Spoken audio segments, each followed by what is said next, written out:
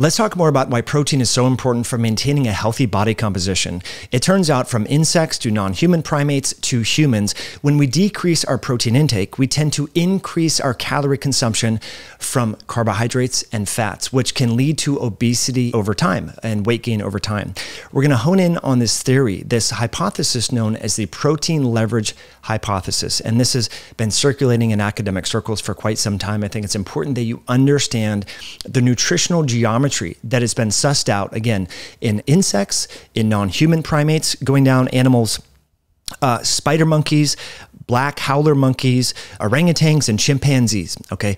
In all sorts of insects, animals, as well as humans, if we decrease our protein intake, we tend to increase calorie consumption from carbohydrates and fats, which over time leads to fat gain. So let's look at figure one here. This really helps convey the story of this jargonistic nomenclature known as a protein leverage hypothesis. When protein is insufficient, there is energy excess in the form of carbohydrates and fats, and that can lead to weight gain over time. So here's what the scientists say A core contribution of nutritional ecology to obesity research is the phenomenon of protein leverage, in which the strong human appetite for protein drives increased intake of energy when dietary protein is diluted, i.e., in low protein diets. Now, the scientists go on to say a hallmark of physiological regulation is if the intake of protein is both regulated and its regulation is prioritized over, that is, stronger than regulation of other dietary components like carbohydrates and fats, then excess energy intake will result when protein becomes diluted in the food supply by fats and carbohydrates. And what have we seen over the past 60 years? People are eating less and less protein and having more hyperpalatable processed carbohydrates and fats. And so these are low protein foods. If you think about all of the junk food, whether it's ice cream, cookies, crackers, treats, chips, and these are protein decoy foods, which we're going to get into in a moment. Chips, in particular, as well as desserts and pastries, are protein decoys that trigger your physiologic regulatory systems to think that they're protein and therefore to prioritize the consumption and have a craving for them to optimize amino acids, but that doesn't actually contain amino acids. And this is also probably why these foods are not satiating. It's so easy to eat a bag of chips. How many people will just crush a bag of beef jerky or have 10 pounds of grass fed ground beef. It's very unlikely that that's going to happen because protein is so satiating. Now, before we go on, friends, I just want to say if you're enjoying this content, please hit that like button. Let me know in the comment section what you think about protein, what your protein targets are, and what you've noticed if you change the protein content in your diet. Also, another amino acid like compound that's found in protein that has a lot of health benefits is known as creatine. It turns out that creatine is one of the most widely studied and most effective ergogenic aids when it comes to supporting your exercise sessions as well as intermittent fasting because creatine helps with cellular hydration. Creatine also helps with exercise performance. So at MYOXCIENCE, we have formulated a great tasting, easy to use creatine and electrolyte combination product. It's very unique in the marketplace. There is Redmond real salt as well as magnesium, potassium, taurine, and creatine. So if you'd like to intermittent fast or exercise, definitely check out the over 700 reviews over at myoxcience.com. Use the code podcast at checkout. I will put links in the description below to check that out. But going back to this article and many other articles. We're going to talk about several feeding studies in humans, finding that in low protein diets, people tend to overconsume carbohydrates and fat, which leads to energy excess and therefore fat gain. The scientists say in humans, the rising prevalence of obesity across the past 60 years has been attributed principally to excess energy rather than a decline in energy expenditure. Fats and carbohydrates have provided the major source of these excess calories, with relative contributions of these two macronutrients varying across populations. Meanwhile, whereas food sources of dietary protein have changed over time, protein intake has remained much more stable both as a percentage of total energy intake and in terms of absolute amounts eaten. In the proximate sense, therefore, excess calories from protein have not caused global obesity. They go on to say many species of non human primates, for example, maintain daily protein intakes within narrow limits, allowing fat and carbohydrate to vary more widely with ecologically imposed variation in the macronutrient ratios of available diets. And so this is termed protein prioritization, meaning that these animals all sorts of non human primates, as well as insects, prioritize protein and then will oscillate the intake of carbohydrates and fats based upon seasonal availability and the environmental conditions.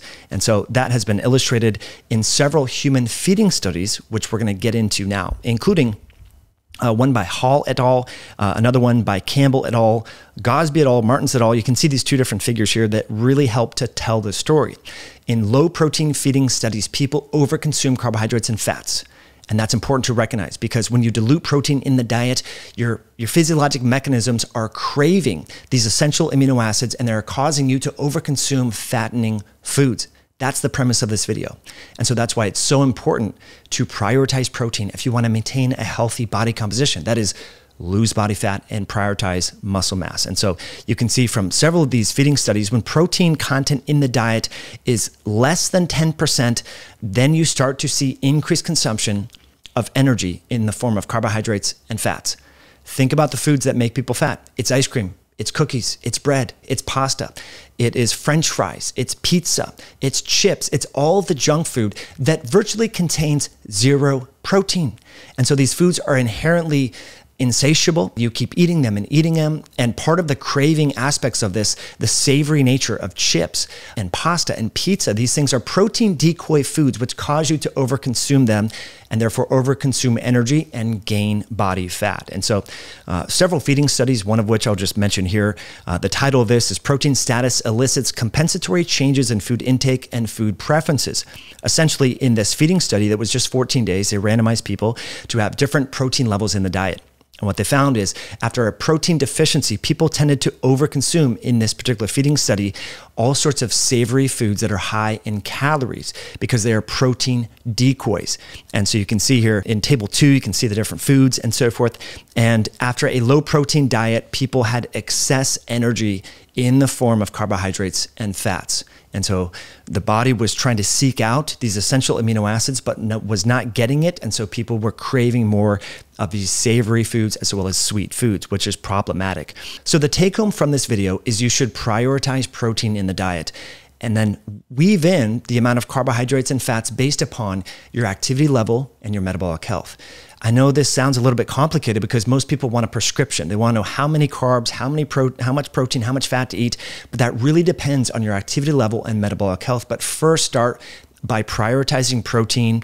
There's all sorts of different numbers floating around from 1.2 to 1.6 grams per kilogram of ideal body weight. I think it's simple just to aim for one gram per pound of body weight per day if you're physically active. Now, that's significantly higher than the recommended dietary allowances that the our, our, dietitians and health institutions recommend but these are thresholds to prevent overt deficiency. We're talking about optimizing and prioritizing health and so you can aim for about one gram per pound of body weight per day especially if you're phys- physically active and you exercise and you're trying to maintain muscle mass. As you get older if you're in a calorie deficit you might want to have maybe closer to two grams of protein per pound of body weight per day in those states or if you have a chronic disease if you're inflamed, if you're over 65. We've talked about protein targets and thresholds in various videos over the years. Uh, and so you can go back to those playlists and check that out. But suffice it to say, low protein diets are not necessarily congruent with healthy body composition because the natural tendency for your physiology is to cause you to start craving and consuming higher calorie foods that are low in protein that are inherently fattening. So that's it for today's show, my friends. I will link these articles in the description below. As always, I'm grateful that you share this video with a friend who may benefit from this. I appreciate your likes, your comments, your subscription to this channel that helps us get into other people's inboxes so they know about the scientific articles that can improve their health. We'll catch you in a future episode down the road.